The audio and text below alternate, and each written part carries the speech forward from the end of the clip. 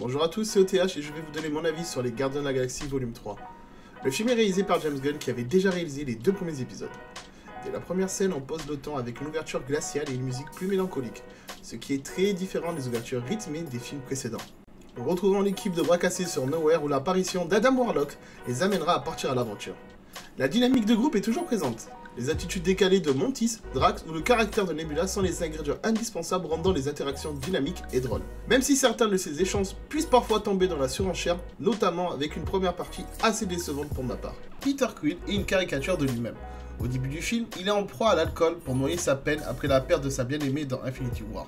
Les premières scènes sont plutôt médiocres et il est difficile d'éprouver de l'empathie pour le héros. Sa rencontre avec la nouvelle Gamora qui travaille maintenant chez les Ravageurs peut être très lourde.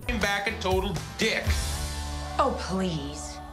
Toutefois, Chris Pratt relève le niveau dans la deuxième partie du film, notamment dans sa détermination à sauver Rocket malgré les avertissements de Gamora au sujet du maître de l'évolution. La relation entre Gamora et Peter Quill prend une nouvelle dimension tout au long du film. Gamora évoluera au contact des gardiens de la galaxie en admirant leur bravoure et leur solidarité. Mon personnage favori est clairement Nebula. Elle est pour moi ce que Vegeta est dans Dragon Ball Z. Nebula s'assume comme leader et n'hésite pas à faire ce qui est nécessaire pour sauver sa famille. Il est amusant de l'avoir abandonné le rôle de la sœur sadique, et elle est clairement le moteur de l'équipe. Rocket est au centre de ce troisième opus. Le film explore son passé, révélant les traumatismes et les épreuves qu'il a dû affronter avant de rejoindre l'équipe de Peter Quill.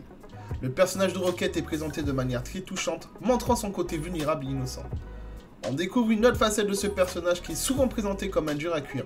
Le personnage est confronté à la cruauté de la vie et à la maltraitance animale. Cette thématique de la maltraitance animale ne laissera pas le spectateur insensible. James Gunn distille les différentes graines tout au long de l'intrigue pour nous emporter dans une tornade d'émotions. Les personnages sont toujours aussi attachants et nous sommes constamment inquiets de les voir partir. Le personnage d'Adam Warlock est inutile et ridicule et manque cruellement de charisme.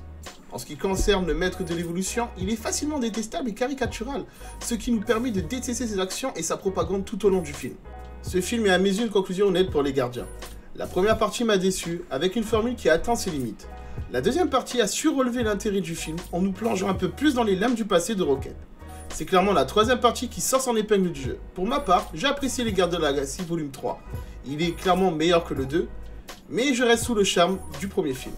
Merci d'avoir regardé cette vidéo. Je vous invite à regarder l'avis du connard qui vous apportera une analyse sur les gardiens de la galaxie plus approfondie avec justement des concepts techniques qu'il maîtrise.